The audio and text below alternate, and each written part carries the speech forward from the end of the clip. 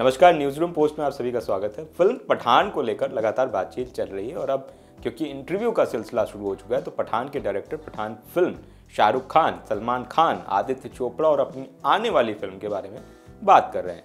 हमने आपको पहले बताया डायरेक्टर सिद्धार्थ आनंद ने कैसे शाहरुख खान को पठान फ़िल्म के लिए राज़ी किया। इसके अलावा सिद्धार्थ आनंद ने एक इंटरव्यू में यह भी खुलासा किया कि कैसे सलमान खान और शाहरुख खान के आपसी संबंध कितने अच्छे हैं और खूबसूरत हैं। इसी इंटरव्यू में डायरेक्टर सिद्धार्थ आनंद ने एक और खुलासा किया है। यहाँ हम इसी बारे में बताने वाले हैं। डायरेक्टर सिद्धार्थ आनंद ने अपनी आने वाली फ़िल्म फाइटर पर ज़िक्र किया है।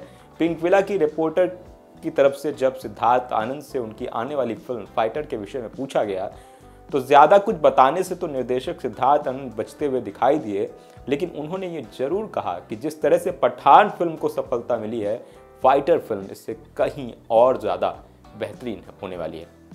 डायरेक्टर सिद्धार्थ आनंद अपने इंटरव्यू में कहते हैं फाइटर एक ऐसी फ़िल्म है जो एक अलग तरह की फ़िल्म है और मैं बहुत खुश हूँ कि पठान के बाद फाइटर मेरी अगली फ़िल्म है.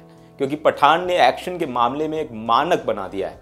वहीं फाइटर इस मामले में उससे पूरी तरह से अलग है। ऋतिक रोशन की फाइटर फ़िल्म पठान से बिल्कुल ही भिन्न है। दर्शकों ने इससे पहले भारत में फाइटर फ़िल्म के जैसा कुछ और नहीं देखा होगा। ये ऐसा कुछ है जो हम पहली बार करने जा रहे हैं। हम उसे बड़े स्तर पर बनाने जा रहे हैं और भारत जैसे देश में इतने बड़े स्तर पर इस तरह का काम कर पाना संभव नहीं है। आगे उन्होंने कहा, वो फ़िल्म के बारे में ज़्यादा बात तो करना नहीं चाहेंगे, लेकिन जब लोग फाइटर फ़िल्म के टीज़र और ट्रेलर को देखेंगे तो वो लोगों को अचंभित कर देगा। फाइटर फ़िल्म की रिलीज़ डेट के बारे में उन्होंने कोई खुलासा नहीं किया, लेकिन वो 25 जनवरी और 2 अक्टूबर के अलावा दूसरी डेट पर भी विचार कर रहे हैं। आपको बता दें, वॉर फ़िल्म 2 अक्टूबर को और पठान फ़िल्म 25 जनवरी को रिलीज़ हुई थी। फाइटर फ़िल्म 2024 में सिद्धार्थ आनंद की रिलीज़ होने वाली अगली फ़िल्म है। ऋतिक रोशन के बारे में बात करते हुए डायरेक्टर ने कहा, ऋतिक रोशन जिस तरह से सेट पर चलते हैं, अपने आप ही वहाँ पर एक चमक आ जाती है।